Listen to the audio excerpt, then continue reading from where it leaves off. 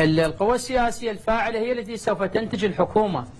الحكومة تمتلك الموازنة الاتحادية والحكومة تمتلك القانون والحكومة تمتلك القوة.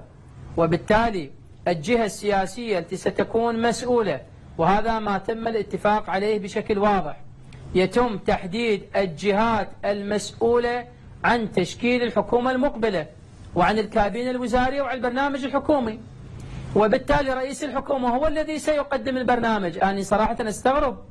يعني في كل وسائل الإعلام وين دائما يسأل شنو البرنامج الحكومي للحزب أو البرنامج الإصلاحي أو البرنامج الكتلة السياسية؟ شنو علاقة الكتلة السياسية بالبرامج؟ يعني كلام غريب. شلون؟ الذي يطبق شلون؟ شلون؟ البرنامج الحكومي هو المسؤول. من يطبق البرنامج؟ شلون ال- النائب؟ شلون ما لها علاقة الكتل السياسية؟ أنتم ما عندكم تمثيل داخل مجلس النواب؟ أنا أنت اليوم لك أنت. اليوم ما تقدر تنطيني تقول لي أنا اليوم راح أخلي أمامي قضية معينة. أنا اليوم أريد أرجع الصناعة. أنا راح أحارب أرفع راية إنه إعادة المصانع المغلقة لغيرها راح أسوي لي قضية راح أشتغل على التأمين الصحي أنا راح أشتغل على إنه توفير الكهرباء من خلال تشريعات أو غيرها أو كذا.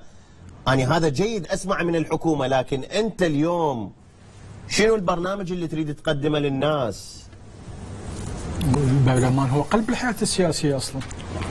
آه، سيد الكريم قدمنا برامج وترجمت هذه البرامج إلى قوانين تحت قبة مجلس النواب العراقي. ولكن من يطبق هذه القوانين؟ الحكومة العراقية.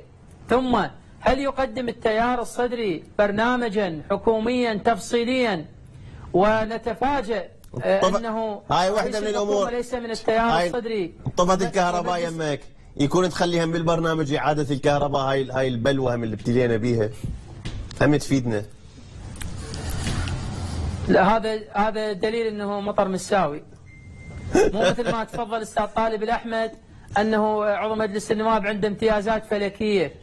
امتيازات فلكية هو عبارة عن موظف ياخذ 5 ملايين دينار ويذكر انها إنها امتيازات فلكية وهناك رواتب أعلى من رواتب أعضاء مجلس النواب ليش ليش ما تحاسبوهم دول اللي عندهم أعلى؟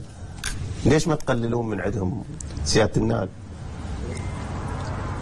سيد العزيز سيد العزيز اليوم الاستهداف واضح لجميع العملية السياسية وبالتالي جزء من المشتركين في العملية السياسية هم يحاولون عرقلتها أنا يعني عندما تقول يحاسب من يحاسب الذي يحاسب هو الحكومة العراقية التي تمتلك القضاء وتمتلك الأجهزة الرقابية وديوان الرقابة المالية وهيئة النزاهة والادعاء رقابية العام. أنتم أستاذ جميع هذه أستاذ- المؤسسات ال- أستاذ رياض أعلى سلطة ن- نعم نعم ولذلك ولذلك نحن آه، سيد ليث ولذلك نحن قدمنا أكثر من 14 ألف ملف فساد يعني شبهات فساد في هيئة النزاهة وهذه آه، تم است- استدعاء عشرات الوزراء والمحافظين ورؤساء الهيئات المستقلة ويوميا يتم إلقاء القبض على عشرات من المدراء العامين ومن الموظفين هذا هذا ماذا يعني؟ جيد. أنه هنالك رقابة ولكن حجم ال- الخراب حجم التدمير